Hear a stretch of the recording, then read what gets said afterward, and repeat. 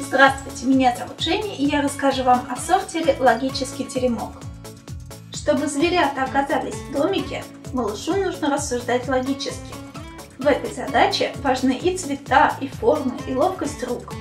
В теремке живут четыре персонажа – медведь, кот, мышка и поросенок.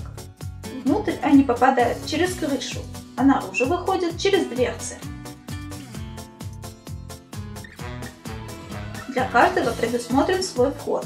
Например, для мышки треугольный, а для хрюшки круглый. Дверцы закрываются ключами соответствующей формы и цвета.